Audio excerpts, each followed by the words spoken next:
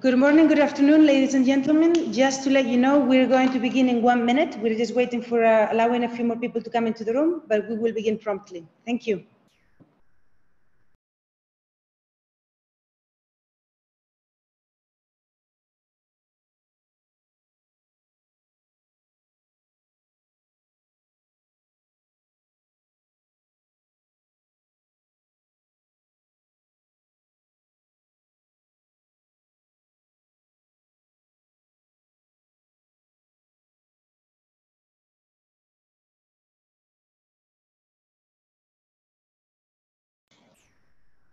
Good morning, ladies and gentlemen. Uh, I hope that you're all well, and thank you very much for joining us today.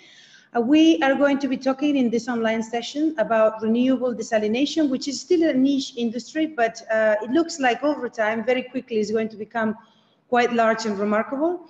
And with us today here, we have two top experts in this, uh, in this particular topic, uh, and I'm going to ask them to introduce themselves uh, in a minute.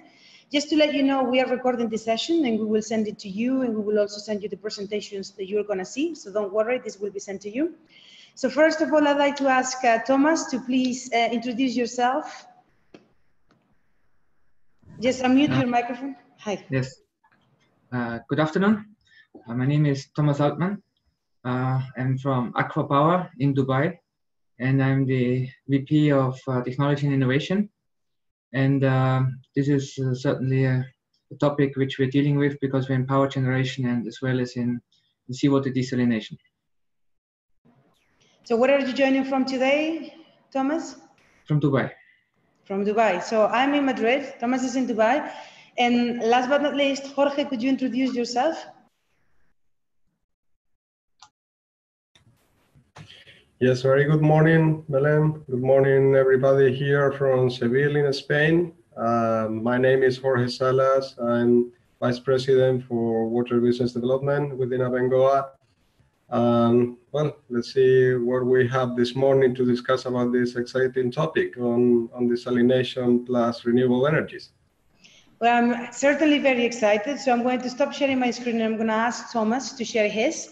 And so that you know, the way that is going to work is first we're going to hear from Thomas, then we're going to hear from Jorge, their presentations, and we will take questions thereafter.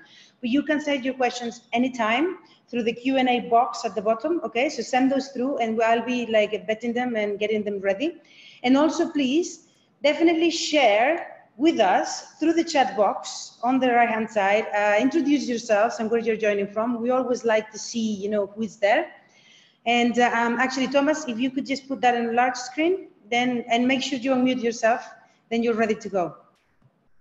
I can might be able to do this for you. There you go. Or not. There we go. Is it okay now? Yes, perfect. Go ahead. Okay, good. Uh, so, good afternoon again. And uh, the first presentation uh, is from from uh, about renewable desalination. And I give you just a very quick overview what ACWA Power is doing.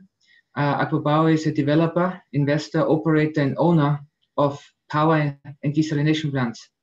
Uh, we have about 35 now, almost 40 assets, more than 22 gigawatts of power, uh, more than 3.5 million cubic meters of water, which will grow in the next two years to more than 5 million cubic meters of water water means desalination, seawater desalination. And we have investments of more than $30 billion in, in this kind of projects. So we are, we are positioned in both in conventional power generation, in renewable energy, as well as in desalination. So this shows you quickly the, the share of desalination. We have uh, a majority of reverse osmosis desalination, but also uh, ma ma major projects with MED and MSF desalination, which is the thermal desalination. On the renewable side, we have roughly 1,360 megawatt of CSP and almost one gigawatt of, uh, of PV. And also this one is growing almost on a, on a monthly basis. So this, uh, this slide I want to show you because it is very significant to see what uh, to renewable desalination because one of the major uh, prerequisites to make it happen is that the, the, the cost of solar is coming down. And here you see uh, a snapshot of the last uh, eight years where the price uh, from CSP uh, went down from as high as uh, 35 cents uh, in US cents in 2011 to the last big projects in Dubai, where the the the cost, the tariff was 7.3 cents per kilowatt hour. So this is, of course, a significant contribution to make uh, renewable desalination uh, uh, affordable and, and, and realistic. So let's talk about the subject. Um, first of all, we start with desalination. You will see here the geography of desalination, which shows that in the Middle East is a major capacity uh, uh, positioned and concentrated in the particular in the GCC states. And this is seawater desalination. There's also a large capacity in the United States, but here's also a lot of brackish water desalination. So the real hub of seawater desalination is uh, in the Middle East and particularly in the uh, GCC countries. When, when we look now at the solar map, uh, you will notice that uh, coincidentally the same countries which have a water scarcity and, and that's why they have large desalination capacities, uh, they also have uh, a high DNI, Uh, irradiation. So this fits very well that uh, the same countries uh, with the water need, uh, with the uh, with the high DNI, they are very well positioned to look at this solar desalination. So here you see the map of the Middle East. And what we notice here is that the, the highly populated cities are also on the coast. So we have now fulfilled three major conditions. So solar irradiation is there, uh, the, the, the customer is on the is basically on the sea on the coast and the water the water demand is growing in a very high very high speed. So here um, so looking at combinations um, to look at uh, renewable desalination today we focus mainly on solar but of course in renewable there is uh, uh there are several options particularly uh, wind and geothermal and biomass. And there's, uh, I'm sure there's more options you can think of. And Jorge will uh, will go also deeper in his presentation in the subject. So I'll give you a high level snapshot. Uh, and so we basically have two, two ways of combining it, either with heat or with electricity. And we are looking today at the solar side of the renewable desalination. Uh, here is a, is a chart which shows uh, capacity versus uh, maturity of technologies. And we are uh, here in the Middle East, we're looking particularly at larger capacities. Obviously, there's combinations in the, in the smaller capacity segment. Uh, but if you look high maturity and high, high capacity, we're looking at solar CSP combined with either MED or or combined with uh, reverse osmosis, uh, same thing. Either you produce the, the steam or you produce the electricity with the CSP. And uh, that's one of our focus uh, as well. In desalination, we have basically three, uh, three major commercially available technologies. Um, it, it, started many, many decades ago with multi-stage flash and MED, the thermal desalination which was basically coupled with power plants and, and produced water in cogeneration mode. Uh, the, the, it was very stable and very reliable desalination, but you can see on the data that the, the big disadvantage, it needs a huge amount of thermal energy to desalinate water, uh, which was available in the power plants and particularly in the Middle East, the fuel was almost free. Uh, this has changed dramatically, and that's why uh, fuel is not free anymore. Electricity prices have increased dramatically, and that's why the membrane technology has gained a lot of space, a lot of growth, uh, particularly in the last uh, area in the Middle East. In the rest of the world, it's already dominated by reverse osmosis. And you can see that we have only an electricity demand of nowadays less than four kilowatt hours per cubic meter electric and no thermal requirement. So that makes this the, the, the superior technology for desalination today. And all the projects tendered nowadays, uh, we had only, I think, six tenders in the Middle East uh, only this year with, with mega plants of reverse osmosis. All of them were RO. And there might be one or two in the, in, in, in the next three years from thermal desalination. But uh, the world will see a dominance of uh, more than 80% uh, worldwide capacity of uh, reverse osmosis. So here that shows uh, the investment in the last years Uh, and you can see that the SWRO means seawater reverse osmosis, that uh, uh, this has this is continued to grow. Uh, there was a, a situation with uh, in 2015 and before where it was not clear where the where, where the, the way will go but a lot of projects have been retendered and the the way is now clear and the next slides will also show in terms of capacity that over the last uh, over the last years uh, there was a significant growth of the membrane technology so this is one of uh, the focus we have um, combining renewables with reverse osmosis but also there will be cases uh, to combine renewables with multi-effect distillation, which is the more, more effective uh, thermal process. So here is in terms of capacity, we can see a steady growth of uh, desalination plant capacities. The target is the 1 million cubic meter per day plant, which is almost reached. Uh, we just had uh, a bid submission last week in Al Tawila in Abu Dhabi, which was a 910,000 cubic meter per day plant. Uh, so we're almost there in the 1 million uh, standalone RO plant. And uh, with this increase of capacity, the costs also came down. This is the second prerequisite. Not only solar cost must be low, also water water cost must be low, particularly energy consumption and capex, uh, which are the, the main factors in the in the water cost.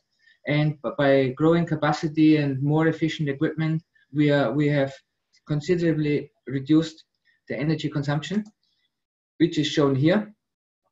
Uh, seawater reverse osmosis started in the old days uh, with more than 10 kilowatt hours per cubic meter. It went then down when, when energy recovery devices were introduced to recover energy from the pressurized brine stream, the concentrate stream, which goes back to the sea. Uh, then it went down, and uh, the, the standard RO plants in the world, they are now in the range of 3 to 3.5 uh, kilowatt hours per cubic meter. In, in seawaters with less salt, maybe in Singapore it could be even lower than that. And we see the future. There is uh, different technologies on the horizon, which also uh, like membrane distillation forward osmosis in the near in the near horizon, which also will be covered in the second presentation. And in the far horizon, in the in the near future, we are talking about monolayer, molecular layer, graphene membranes, and then we are going down to almost 1.5 kilowatt hours per cubic meter. And this is basically very close to the theoretical limit, uh, thermodynamic limit, what can be what can be done. It's around for, for seawater here, it's around 1.5 kilowatt hours per cubic meter. It's a significant success to go down from 10 to 1.5, and we are looking forward to, to see that. And that will be another another um, accelerator for uh, renewable desalination to bring the energy consumption down uh, of the of the RO plant which is today the largest component in the water tariff. So here we have the three examples uh, of uh, future, uh, near, near-term future technologies. Uh, all of them already pilot tested uh, and uh, Jorge will give more details on, on, that one. that shows how the water price came down in the last years. we are now just the, the, the, chart is not, it's 2015.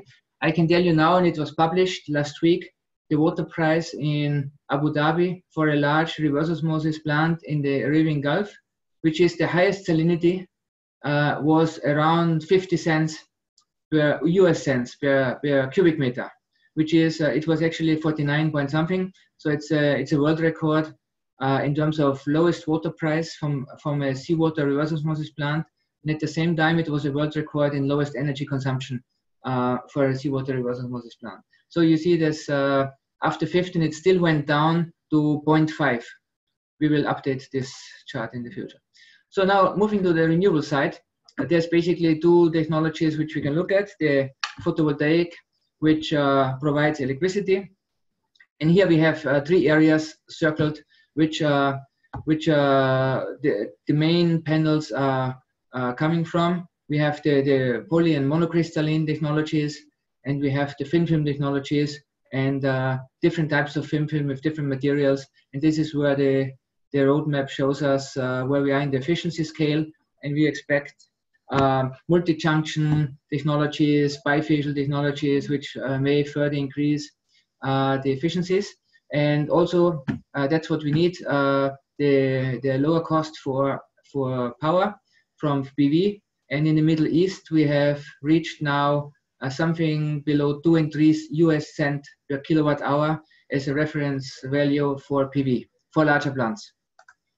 so on the concentrated solar power side, I think most of you will probably know these three ma ma main technologies with uh, solar towers and, and parabolic trough, the, the, number one in terms of capacity, followed by solar towers. We just uh, under we just uh, uh executing a project in Dubai, which has a 700 megawatt CSP capacity plus 250 megawatt PV on top of it, and the 700 uh, megawatt CSP comprises a tower of 100 megawatt and 600 megawatt of parabolic trough, and it's the largest single site uh, CSP plant in the world with, I believe, 4,000 hectares. And so there's also a, a, good progress going on with 7.3 cents per kilowatt hour. It's for sure a, a, a big milestone. It's a, it's a quantum step uh, in terms of pricing, and we expect that the prices will further go down in the next projects. so this is some general comparison, uh, pro and cons of uh, CSP uh, between the different technologies, which is not uh, the highlight today. But this is maybe important that we see from the Sunshot uh, presentation that they have a goal of uh, 20. if you look on the right side on the utility scale, they had they have uh, announced a goal of for 2020 of six cents. So we have already 6.3, and I think in Australia with different uh, solar resource, they are closer they are closer to six already. And for 2030, three cents. we believe that six cents can be reached uh, in 2020 and also we believe uh, after 2020 we can reach probably something like four cents i don't know if it's three cents but i think uh, we are we are positive that it can go down to four to five cents or maybe even three.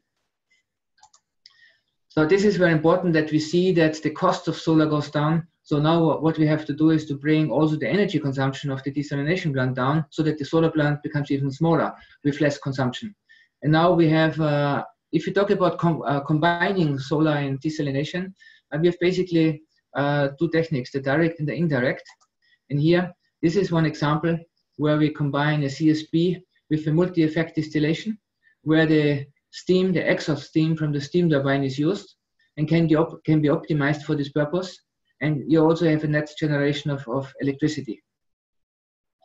In the second example, uh, here we use a reverse osmosis technology which needs only electricity. And so the, the CSP plant can be fully optimized for power generation and uh, connected to an plant. It can be co-located where it can be in different locations. Uh, it's basically connected by a, by, by a cable. Uh, and also the, the CSP plant has a, has a storage.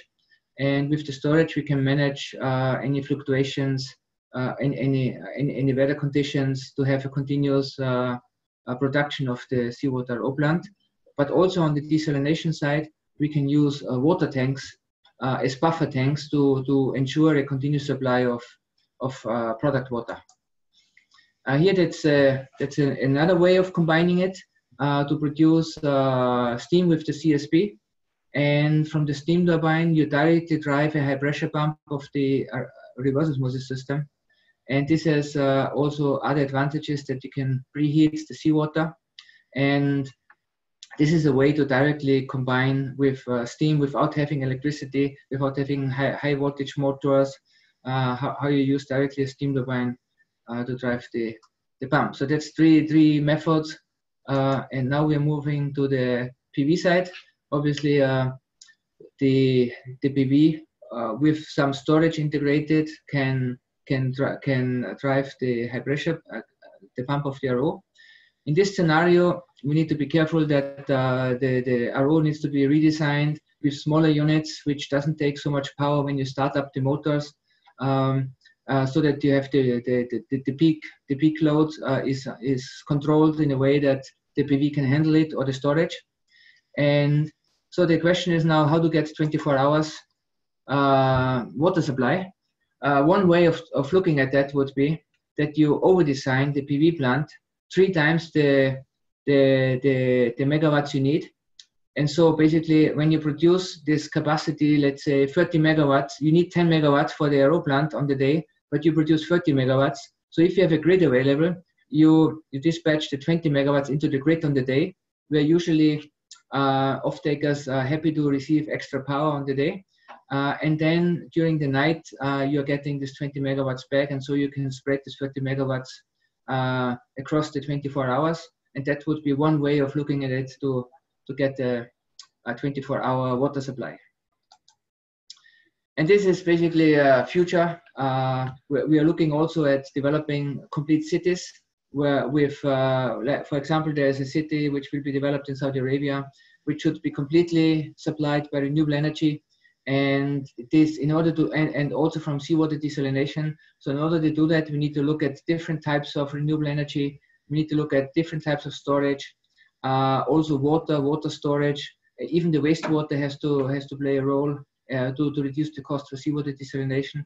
And so basically, this is a concept we are looking at uh, to to have a complete supply of a city with renewable energy and with solar with solar desalination. And that basically brings me to the conclusions. So water and energy are inextricably linked, especially seawater. Uh, desalination plays a vital role in the GCC. Uh, GCC is very much dependent on seawater desalination and it's continuously to grow. And a sustainable and resilient water supply is, is extremely important here in the region. Uh, the technologies uh, for solar and desalination are available in the commercial scale, and there's no reason why that cannot be uh, deployed. It's very important to reduce the energy consumption of the desalination because that makes the capex of the solar plant uh, lower, and the overall water price will be lower. And so that's that's one of the focus areas of uh, of reducing the the energy consumption. And uh, the second point is that uh, the CSP system is a heat supply system and designed uh, should, uh, this is important if we combine directly CSP with desalination without producing electricity first, we can use uh, a CSP system, system which is designed for lower temperatures and for lower pressures, which, which inevitably results in lower cost of materials and this would uh, reduce the CSP uh, power generation cost. So both less energy consumption on the desal plus lower uh, stringent materials uh, for, for the CSP system, both will contribute to bring the water price, the resulting water tariff down. Uh, what is also important to know is contrary to the combined cycle plants, the CSP peak generation occurs in summer, which can be used. Um, and water can be stored more economically than today's uh, battery storages. So it's also to bring into the optimization equation the, the water storage. And other storage technologies are also available, especially if you are near mountains, uh, gravity storage, or also called rock storage, or hydrogen storage, which is a very fast growing area, are emerging technologies to store the excess generation from PV or from wind plants. So what is really needed now as a next step is to, to bring a demonstration plant on the way in the GCC to demonstrate and to, to pave the way and accelerate the deployment of large scale projects. So that brings me to the end of my presentation. Thank you very much for listening. Thank you very much, Thomas. It was a very interesting presentation. And uh, we have a few questions, but we'll take it thereafter. So if you can stop sharing your screen, and we'll give also the, the screen to Jorge now. Just go to the top and, and, and press stop sharing. Thank you, Belen. Let's see how this works. Yeah, you're ready now. You just have to put it on. And just, just uh, a reminder for everybody uh, that you can send your questions through the Q&A box and we will take them after Jorge is done. Uh, both questions for Thomas and for Jorge. There you go. We can see it perfectly already, Jorge. Good, good. So let's let's start first. Thanking thanking Thomas for for his presentation. I think he addressed perfectly well the the subject of today. Uh, in Abengoa, as you know, uh, um, we are a, a, a, company specialized in renewable energies and in desalination as well. So I think we have a vision of this topic, and I'd like to start my presentation with a thought, okay? Uh, Thomas addressed the issue whether renewal should be applied directly or indirectly to uh, desalination technologies. And I would like to, to start thinking about the efficiency when we are transforming energy from uh, uh, thermal to mechanical, mechanical to electric. In every stage that we transform energy, we have losses, okay? The, the second uh, thought that I would like to fix also is that those losses in the end for us are residual energy. For example, waste heat. So where do we see the future of desalination technologies combined with renewables? Is with those technologies that will allow the use of those energy losses from other processes, okay? We see that now uh, renewable energy generation is getting to a very mature stage and desalination still have to, to do that way uh, a little bit more. So better desalination focus on the use of those energy losses from other processes and try to avoid energy transformation. So if that uh, loss energy is in the form of heat, try to think of technologies on desalination that will focus on using that heat directly rather than transforming it to electricity and, and after applying to a motor or whatsoever. So, and we will see later on why the numbers doesn't match if we do it uh, uh, the other way around, okay? Just also to frame a little bit what the state of uh, uh, uh desalination plants run by, by uh, renewable sources. I think Thomas already mentioned it, but only 1% of the global desalination capacity are powered by, by renewable sources. So that gives us a hint on where we are how mature, uh, let's say this combined application of renewable and desalination is so far. 40%, 43% of those uh, uh, plants are based on solar photovoltaic, 27% on solar thermal, 20% on wind energy, and 10% in hybrid renewable energy sources, okay? Let's go uh, to next presentation. Uh, sorry, next slide. Uh, Thomas already mentioned the uh, uh, dominating technology commercially today is reverse osmosis. It's the most used desalination technology worldwide. It has a market share of around 60%. I saw that uh, ACWA's portfolio perfectly matches the uh, desalination market as it is today. They were around 40% on thermal and 60% on, on RO, and that is precisely the actual state of uh, the desalination market so far. And why this uh, happened? Well, this happens in, and you can see on the on the graph on the right hand side of the the slide since the late 90s of last century that the power consumption of reverse osmosis really supposed a breakthrough in the market and thermal technologies could not compete with it. And from that moment is when reverse osmosis started to domain uh, the market. Okay, moving to next slide. On the cost of desalination and based uh, uh, more precisely on reverse osmosis, around 44% of the cost of desalinated water is associated to the power consumption of this technology. And this has CO2 emission associated around three kilos of CO2 per cubic meter. Okay, this is based on conventional power generation and considering a, power tariff of around seven cents of dollar per kilowatt hour. Okay, and if we go to the detail of where that consumption happens, 85% of it happens precisely at the reverse osmosis stage. Okay, Thomas mentioned that actual consumptions in uh, uh, plants at commercial operation are around 3, 3.5 kilowatt hour per cubic meter. If we only had to uh, overpass or overcome the uh, uh, osmotic pressure between uh, seawater and, and, and permeate, and all the water was converted to, to, to desalinated water, the uh, theoretical power consumption should be around one kilowatt hour per cubic meter, where at present we are at three, 3.5 that he will mention, okay? So what's happening now in the market? We see that uh, there is a trend to try to find alternative technologies to RO. We see and we, we present here the case of Siemens. Uh, uh, they did some research in the uh, Singapore Water Hub.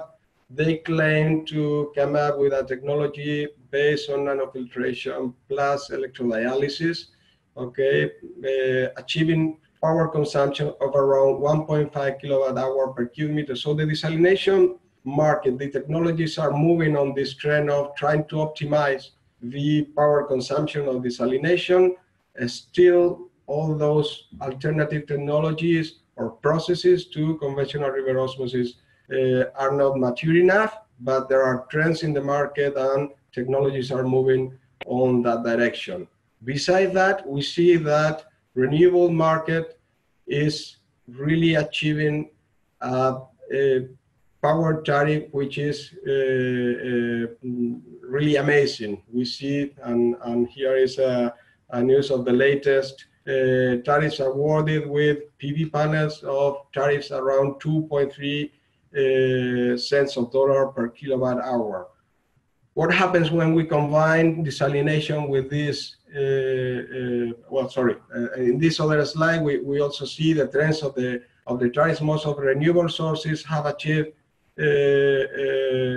tariff of power around below 10 cents uh, of dollar per kilowatt hour. Latest tariffs on thermosolar, I think Thomas also mentioned 7.3 cents of dollar per kilowatt hour. Okay, and where does this take us when we combine these tariffs with the uh, uh, actual situation of desalination with reverse osmosis? Well, the share of the power cost in the total uh, water cost, if we were using only solar power, would come down only to 21% uh, from the 44% that we mentioned with zero uh, CO2 emissions associated uh, to that share of the, of the water cost. So we can get savings of around 30% in, in the cost of desalinated water at present using the power tariff that uh, certain renewable sources are providing already in the market. So it's a, I think it's a it's a remarkable event that it must be mentioned. Okay, this is a, a tree uh, very much alike to the one that uh, Thomas presented, we try instead of mentioning whether it came from solar, it came from wind or whatever, we thought that we better split this tree on renewable sources that produce heat.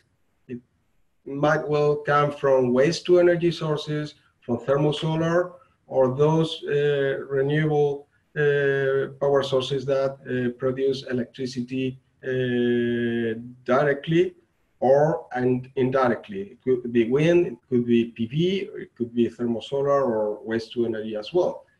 If we focus on the use of heat, uh, and Thomas uh, already also presented, sorry for mentioning you so, so much, Thomas, but you already presented the most conventional thermal technologies available in the market. There is a question mark here, and we see later on in a, in a slide. Are these technology ideal or suited to be combined directly with uh, uh, the heat coming from thermal? We'll see later on, but the answer is no. We need to develop new technologies that make use of the residual heat. Otherwise, it is better to put that heat through, uh, through a turbine and, and, and, get power out of that uh, uh steam uh, and then put that power into a reverse osmosis as we will see later on. Promising or emerging technologies that promise that they will make use of those residual heats in order to allow desalination will be technologies like forward osmosis or membrane distillation. If we, if we focus on the other side of the, of the chart of the tree, okay, we see that if we focus on making use of electricity coming from renewables, it might well come from the grid or direct use. If we focus on direct use, it could will be reverse osmosis. We've seen that there is still good room to improve reverse osmosis on its efficiency from its theoretical uh, uh, minimum to the actual uh, consumption. the membrane manufacturers basically uh, uh, must uh, come to the market with new membrane development that will allow to have lower consumptions. We know that in the membrane is where the most of the power consumption happens, or it could be by using direct current technologies like electrodialysis or reverse electrodialysis. If we go to indirect use, make use of the electricity directly from the grid, then we are separating a little bit uh, the, the case of uh, desalination and, and, and the generation of the power through renewables. And then I guess that the topics to discuss are more related to uh, infrastructure planning or government planning on how to equilibrate the demand of power from desalination combined with the use of renewable powers uh, uh, in the in the power system of an area of a country. Okay. As I said, if we focus on heat, uh, if you do a calculation, and it was mentioned previously that MSF MED consumes around 80 kilowatt hours of thermal per cubic meter.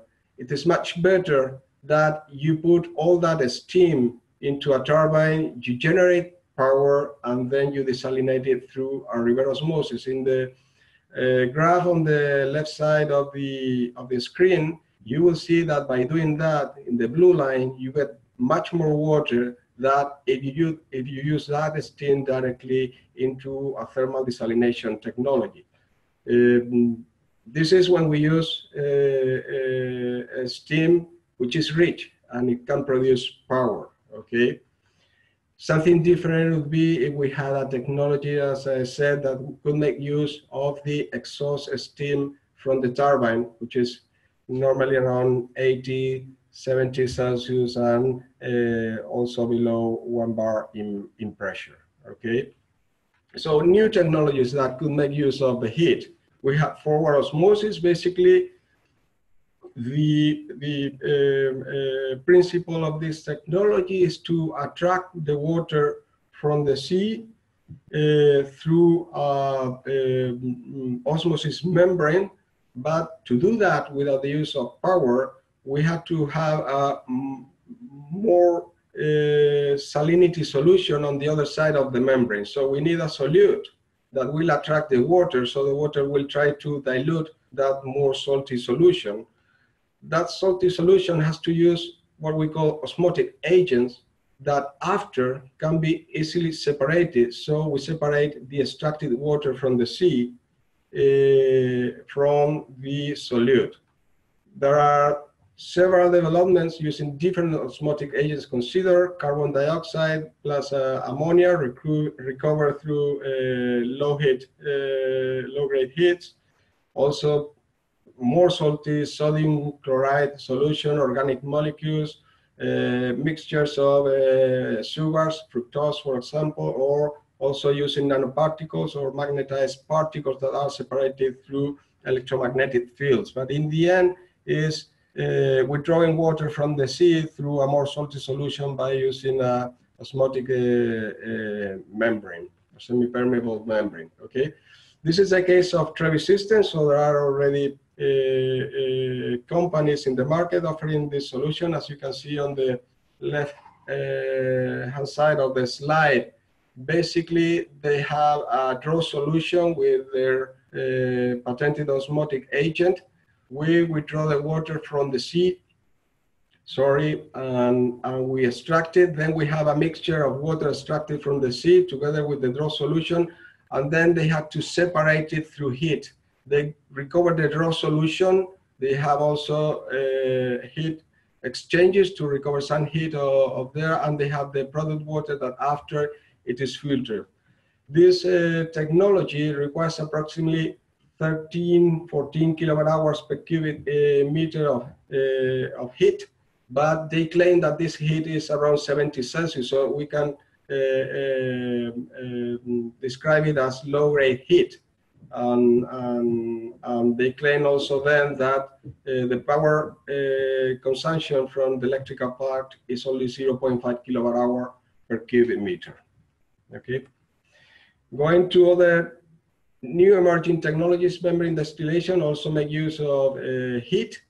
In this case, we present the case of a plant that we had in, in Masdar in, in Ghantoot, uh, operated there precisely to concentrate the brine coming from reverse osmosis. So we managed to increase the recovery of that desalination plant from 38% of recovery rate in the ROS stage to a, seven, a rate of 70% by using residual heat through membrane distillation. The heat required here was a very low grade uh, temperature heat, 40 Celsius, but the thermal consumption if you see, is huge. It's around 80 kilowatt hour per cubic meter. The good thing of this is that that heat would be otherwise waste heat.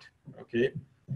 Obviously, we could also PV collectors for uh, providing the energy needs of uh, in, in terms of electricity of, of this plant. Okay.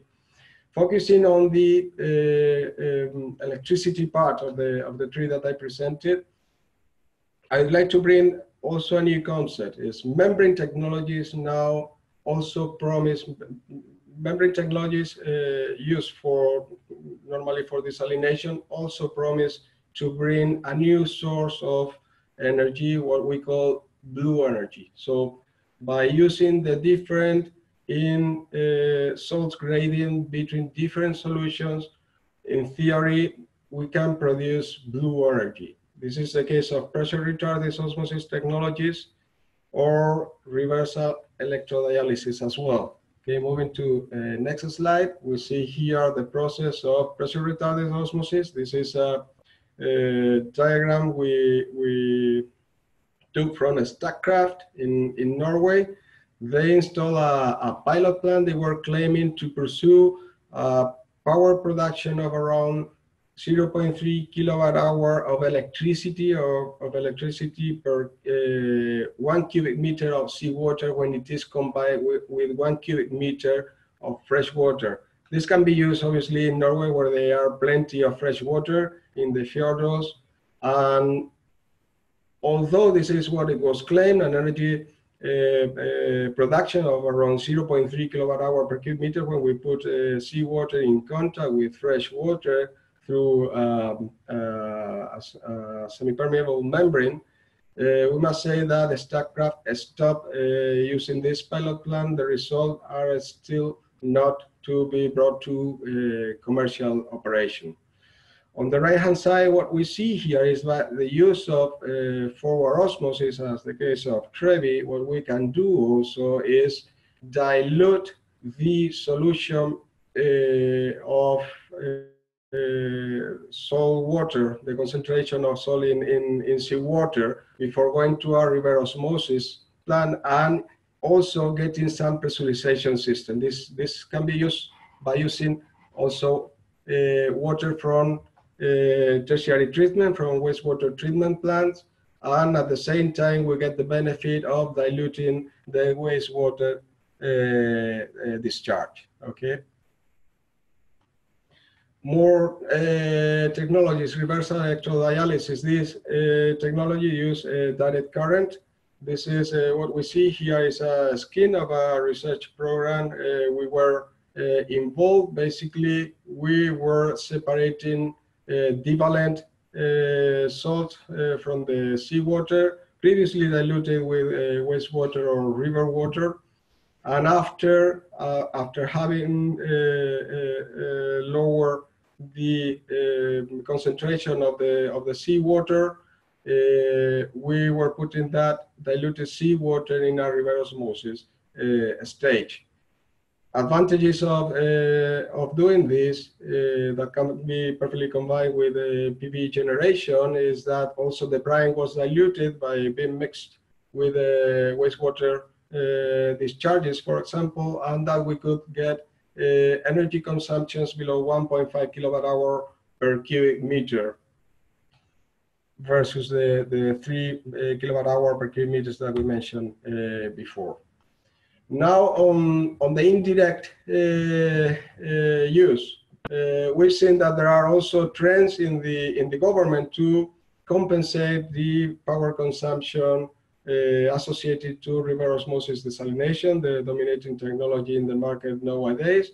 Uh, we put here some uh, news. The, the, first one is in Morocco, in Dakhla, uh, seawater desalination plant that is being promoted by the Ministry of Agriculture of Morocco. And at the same time, in the uh, infrastructure, it is requested that the power generated or sorry, the power used by this desalination plant shall be compensated by the use of windmills, uh, which is uh, very competitive in the area where this desalination plant is going to be. It is also the case of Australia. Australia had a very ambitious desalination plant uh, plan in, in, in the first decade of uh, uh this century. And they uh, focused very much on compensating the uh, power used by this desalination plant with renewable uh, power sources. Okay.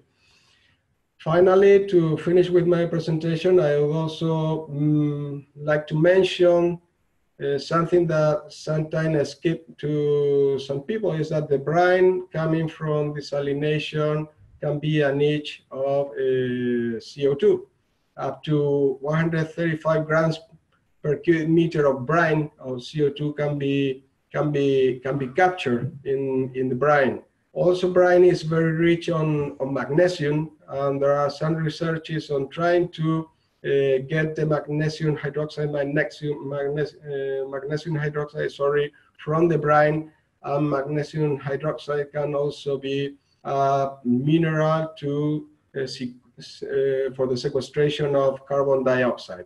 Okay, so there are other opportunities in desalination also to try to compensate the CO2 emissions associated to its power consumption. Um, this is what I wanted to present today. Uh, Belen, thank you very much for giving us the opportunity to give our view on desalination and renewable uh, power technologies. No, thank you very much, actually, Jorge, to the both of you, because you've done an excellent job of bringing the spotlight into this important topic. I think, and I hope that we will see a lot more renewable desalination in the future. A um, couple of questions we have here is kind of late anyway, so do send questions if you have any further, but let's start with this. Uh, one of the questions here is which of the C three CSP technologies will be the most adapted to desalination in, in your long in, in the long term, in your view? So who wants to answer that? I think it was you, Thomas, that have the three, uh, the Fresnel and the parabolic trough. Just unmute yourself and you can answer. Okay, working now. Okay, it's a general question. Uh, we will see uh, all three of them. Why? Because uh, different requirements. If we go for electricity generation, 24 hours base load. The, the parabolic trough in the solar tower technologies are very well positioned for that. Uh, which technology will be selected depends on the on the meteorological conditions. In in dusty areas uh, where the so the attenuation is is bad, atmospheric attenuation is bad, you will look for parabolic trough and if you have a very clear sky, like in the mountains in Morocco, in Nevada, or in uh, South Africa, you can use uh, also very well the solar towers. So it's a, uh, it's not really a desalination question. It's it's a question of the circumstances at the location in the country. Uh, the, the so-called TMY, uh, which will give you after optimization of the of the processes, which gives you the better uh, the better result uh, for power for power generation. And uh, the three technologies, yeah. Fresnel, I think, is for, for, for smaller systems. It could be direct steam to the to the turbine. It it's I, I don't see any particular favorite. I see it. It's it's very dependent on the project conditions, on the on the project specification, what you want to achieve. So all three will be available and maybe more in the future. In smaller smaller plants, even parabolic dish no one size fits all, right? Every project needs to be considered on its own. That's what I'm getting from this. Okay. Second question, another question here from Christian Conan It says, uh, if reverse osmosis is the water desalination technology and only needs no heat, which potential do you expect for CSP compared to PV? I can, I'm, I'm already Oh, unmuted, yeah. so I can answer. Um, yes, reverse osmosis doesn't need heat. This is the current technology. Uh, and we can produce uh, the electricity with the PV, that's fine. But we need a battery because water production in the Middle East is always 24 7. So if you combine the tariff of PV with the, with the battery storage and you compare with the CSP with molten salt, you will see that currently today uh, CSP is ahead of the game. And that's why in Dubai we built a 700 megawatt CSP with molten storage and not the, not the 700 megawatt PV plant. So uh, this again depends on the situation. Um, CSP cost will still drop, battery price will still drop. I think both will have a niche. Uh, CSP can be also hybridized. Uh, there's many presentations with uh, gas turbines, with uh, with geothermal, with uh, biomass. So there's again, it, it is the job of a developer or a, a contractor to develop the most optimized solution for a project. And it depends what feedstock do you have, what is the electricity cost, what is the, the cost of the feedstock, what is the meteorological uh, conditions. So I don't think we should try to put uh, only black and white picture here. It is a very complex situation. And the, the, the future technologies that, as we have seen in the second presentation, uh, like uh, forward osmosis and membrane distillation, which have much less power consumption, electric power consumption than RO. They need heat, but it is a heat which can easily be generated by low-cost CSP systems or like Fresnel or, or even the, the one in Oman, the, the GlassPoint system. Um, there are several systems around which produce uh, low-cost heat, and this is a this is a quality of steam which is not suitable for power generation. So uh, we will see at the moment RO is very clearly dominating, but as I said in a in a previous publication, that uh, it depends. The future of desalination depends very much of the which form of energy is available and how energy uh, is uh, how power is generated in the future. And that's uh, we also look at nuclear desalination in Saudi Arabia. So we will have the full spectrum, and everything will every system will have its niche. Would you like to add anything, Jorge?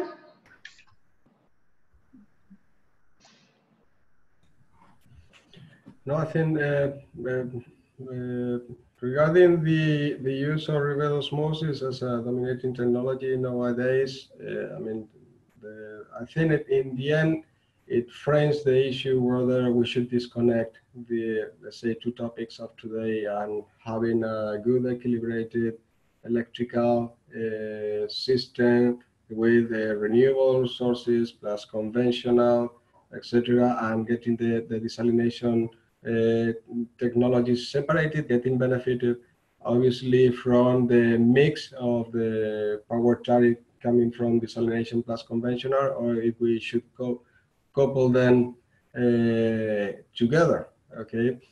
Uh, as Thomas uh, said, obviously, with the state of uh, reverse osmosis nowadays, uh, it uses electricity. It's a question of putting pressure through a, a membrane.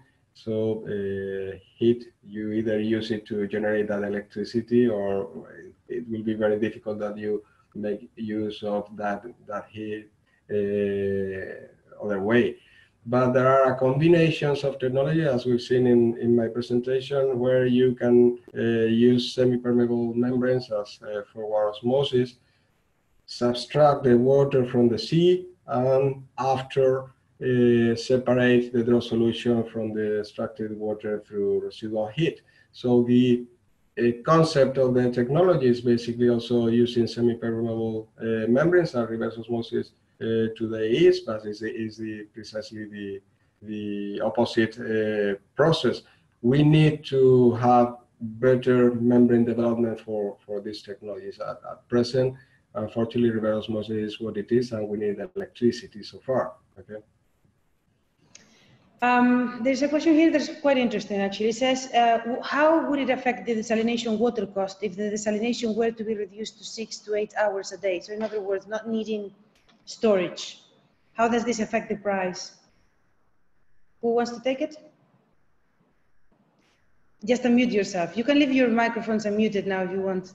I, I think already we already answered. I mean, uh, the, the, the power uh, cost component in the water tariff was around 44%. It would be reduced if we if we if we come down from a power tariff of seven cents per kilowatt hour to 2.7 to around 21% of of the total water cost, and that would suppose an overall reduction in the water cost of around uh, 30%. This is applying directly that power tariff generated from uh, renewable.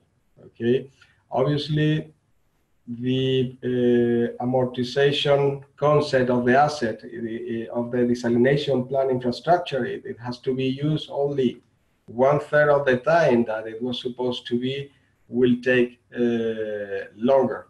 Understand that the rest of the time the desalination plant should be using obviously power from the grid, uh, whatever the tariff is, uh, just to amortize it uh, much faster. Otherwise, that amortization component of the of the water tariff would increase by by basically 60%, uh, and that wouldn't make sense. Okay. Okay, that was it. Uh, we have to say goodbye, but just have a question for you. Where do you speak?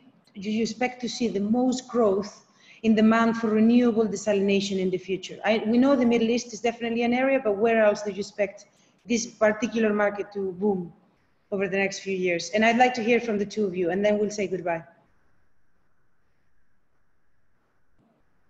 You want to go first, Jorge? Okay. Uh, all areas in the world with a potential of uh, having a, a, cheap power tariff uh, and, and, having water scarcity. I, I think Thomas showed a, a, map uh, worldwide with the water scarcity. For example, Chile. Chile has a huge potential of uh, solar power generation and also has a water scarcity. So that would be also a perfect match of combining uh, renewable power with desalination technologies. Obviously, Middle East, we've seen also uh, show uh, news of a project in Morocco, an irrigation project that uses desalination water and its production uh, is uh, compensated with windmills. It is also the case of Australia. I mean, the, the, the compensation of uh, the power use of desalination with renewable sources is not new. Australia did it uh, uh, 10 years ago. And we've seen that that trend is being followed by many other countries where they have a huge potential of renewable and they have a water scarcity. So all those areas obviously will follow that trend. I'm sure of that. Thank you. And Thomas? Yes, uh, I think nothing much to add. Uh, these are the countries. Uh, what I see is that the lowest water cost can probably be produced in Chile for one of the reasons mentioned, uh, the, the very high DNI. But also what we need to know is the, the seawater there has very low salinity.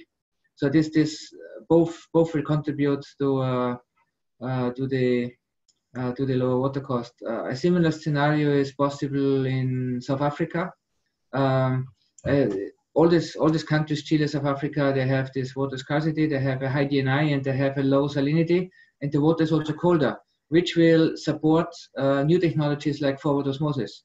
Forward osmosis has a high efficiency at colder water, which is contrary to the RO, which has a high efficiency at a higher temperature. So we will see in in Chile and uh, hopefully in South Africa uh, solar combination with uh, future FO and uh, and of course still today reverse osmosis or, or thermal technologies. And in Saudi Arabia, we still have in, in some regions of Saudi Arabia, we have a high DNI in the northwest, for example. And also at this area, there's no gas net, there is no electricity grid, uh, or very little, or if it's there, it's not stable uh, for high loads. So we will see there uh, plants uh, and also, uh, first of all, it will be larger scale. And second, it's also by legislation because of the new fuel policy of Saudi Arabia, which which will not allow any oil-fired power plants, which will focus on gas and renewables and a little bit of nuclear. We will see that certainly, and also low carbon credits, uh, carbon credits, all these things come into the game. and we will see also in Saudi Arabia and in the Middle East uh, uh, plants in the future. Well, this is great news, and I, I, hope you know that this is the case. So, thank you very much, Thomas. Thank you very much, Jorge, for, for sharing your know-how with us, and thank you very much for everybody who is in the audience. See you in the next uh, webinar. Thank you. Bye. Thank you. Bye. Thank you. Thank you, everybody.